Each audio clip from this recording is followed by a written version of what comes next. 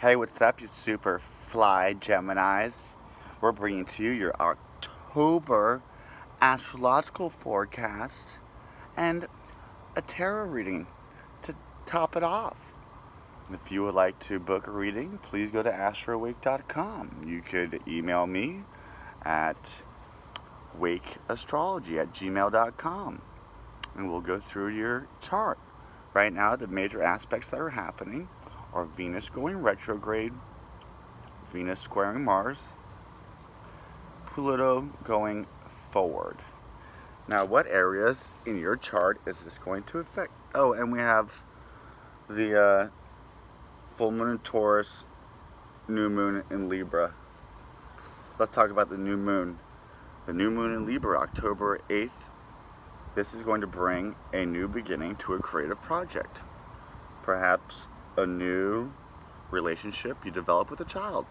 Perhaps having a freaking child, finding out you're pregnant. Fun. Now, that's what this Libra time, when the sun is in Libra going to Scorpio. We're going from your creative projects and now you come up with one, perhaps one that was hidden in the dark that you put on the back burner. Now you're bringing that back up and you bring it into your daily routine. Uh, it could be a new exercise, a new way that you entertain, a new way that you're entertained. And now that's going to creep into your daily habitual life, into your sixth house, where we have the Venus retrograde happening.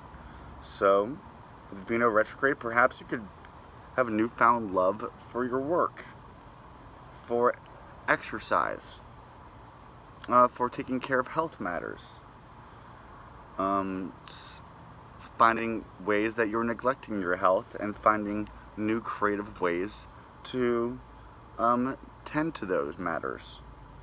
Now, we have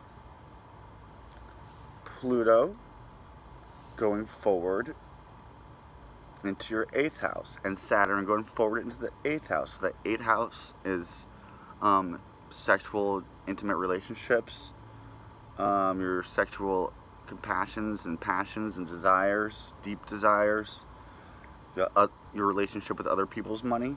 Now in that area, you had energies going back, asking you to restructure, um, asking you to look deeper onto a psychological level, about what's already in a psychological place.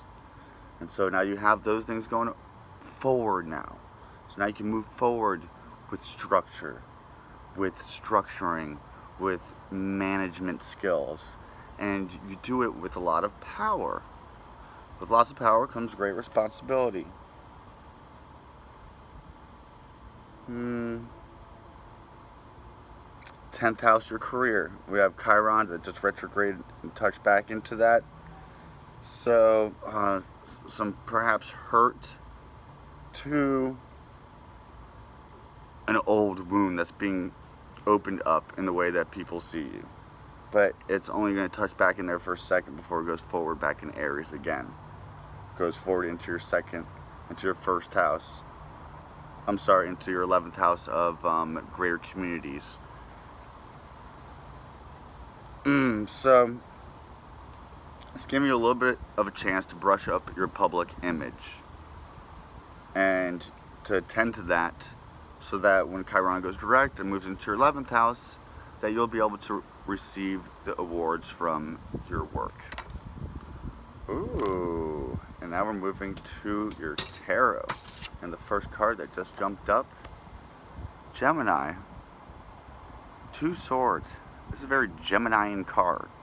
Air. And here we have a decision that needs to be made. This is also very Librarian. We're in the time, so make sure that you cut away those things that need to be cut away mentally before we enter into Scorpio season, before they solidify.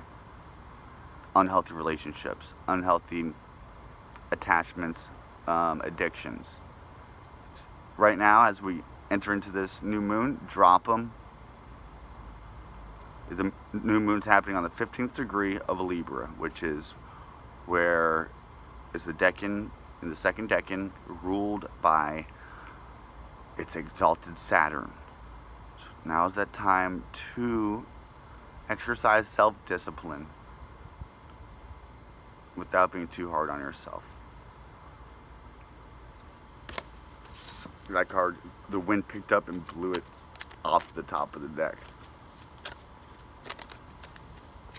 And the Fool, a new beginning, trusting in the plan. Reminds me of QAnon. Trust the plan.